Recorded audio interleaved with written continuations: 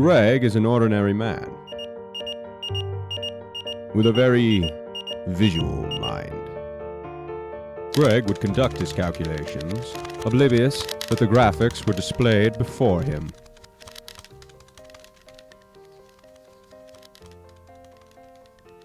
Greg.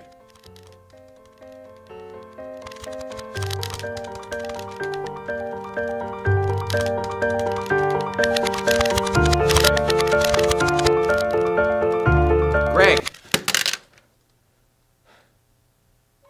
The professor was confused. He had sworn he had seen something. Uh, never, never mind. Poor man.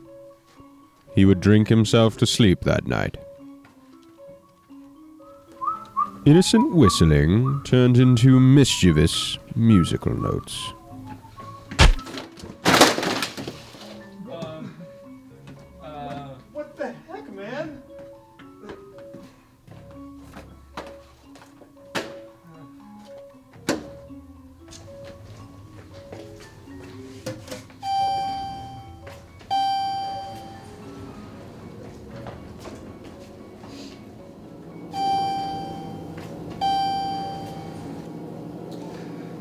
Greg, just trying to help, What floor?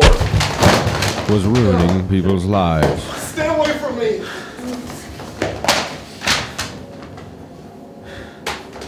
Watch as a man becomes desperate. Why? What? What? What do you want? What's wrong? What'd I do? In graphics, Greg, motioning in to a theater near you.